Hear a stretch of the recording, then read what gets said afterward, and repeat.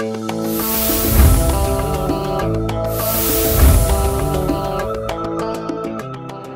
joined the Chamber back in 2003 because I found it as an opportunity for me to network and to meet all the greatest people in San Diego.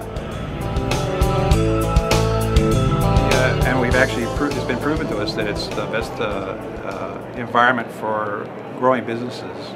It increases our credibility just by being members of it. Basically for marketing, to make connections with other business owners. When I started the charity back in 2004, we started with five, get that, five sponsors, and after one event with the Chamber, we went to 100 sponsors.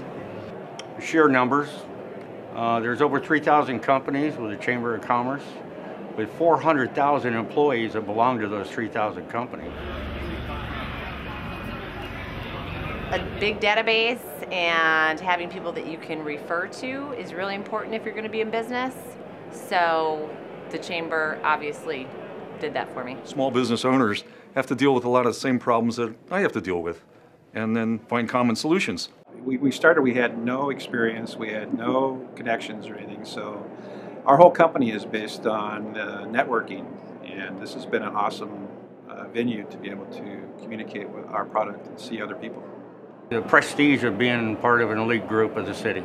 The chamber has been so awesome with us. Um, we get we get um, very good response from them, and they're uh, they're just so great. The, the people are are real friendly. I love being a chamber member. It gives me an opportunity to grow my business, and I also get to meet fantastic people.